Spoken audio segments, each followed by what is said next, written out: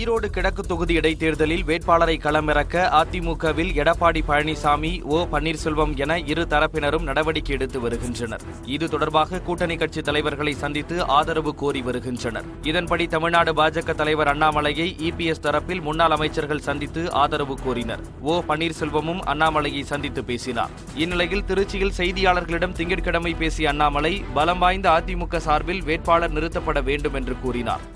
பெரிய கட்சி என்பது அனைத்து இந்திய அண்ணா திராவிட முன்னேற்ற கழகம். இதற்கு முன்பு அவர்கள் அங்கே வெற்றி பெற்றிருக்கின்றார்கள். அமைச்சர் பெருமக்கள் வெற்றி பெற்றவங்க நிறைய பேர். அமைச்சர் பெருமக்கள் அந்த கட்சியில் அமைச்சர்களா இருந்திருக்கிறாங்க. அப்படி இருக்கும் பொழுது பலம் வாய்ந்த ஒரு கட்சி நிற்கணும் நல்ல வேட்பாளர் நிற்கணும் அந்த வேட்பாளர் ஜெயிப்பதற்கான எல்லா விதமான ரிசோர்சஸும் கொடுக்க வேண்டியது எங்களுடைய கடமை. நெல்லையில் செய்தியாளர்களிடம் செவ்வாய்க்கிழமை பேசிய அவர் நாடாளுமன்ற தேர்தல்தான் தங்களுக்கான பல பரீட்சை என்று தெரிவித்தார். எந்த தேர்தல் பாரதிய ஜனதா கட்சிக்கான பலப்பரிச்சை என்பது எங்களுக்கு தெரியும். இரண்டாயிரத்தி இருபத்தி நாலு எங்க தேர்தலுங்கண்ணா. அது எங்களுக்கான பலப்பரிச்சை. மோடி ஐயாவுடைய பத்து வருஷத்தை மக்கள் எடை போட போறாங்க. அதற்கு நாங்கள் பதில் சொல்ல கடமைப்பட்டிருக்கின்றோம். இடைத்தேர்தலில் பதில் சொல்ல வேண்டிய அவசியம் எங்களுக்கு இல்லை.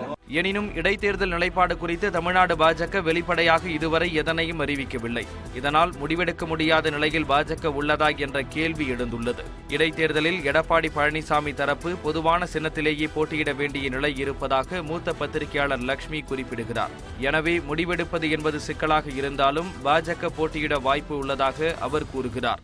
பாரதிய ஜனதா கட்சிக்கு எல்லா சைட்லயுமே இது வந்து சிக்கல் தான். அதிமுகவில் எந்த ஃபேக்ஷனை சப்போர்ட் பண்ணுன்றதும் அவங்களுக்கான சிக்கல்.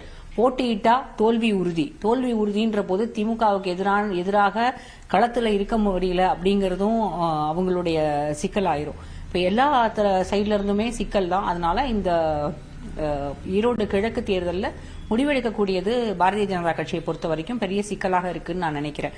ஆனா எனக்கு கிடைச்ச தகவல் படி பாரதிய ஜனதா கட்சி கட்டாயம் போட்டியிடுவார்கள் அப்படின்னு நான் நினைக்கிறேன். இடைத்தேர்தலுக்கான வேட்புமனு தாக்கல் வரும் முப்பத்தோராம் தேதி தொடங்கும் நிலையில் அடுத்த சில நாட்களில் பாஜக தனது நிலைப்பாட்டை அறிவிக்கும் என்று எதிர்பார்க்கப்படுகிறது. இடைவேளைக்கு பிறகு மற்ற செய்திகளை பார்க்கலாம்.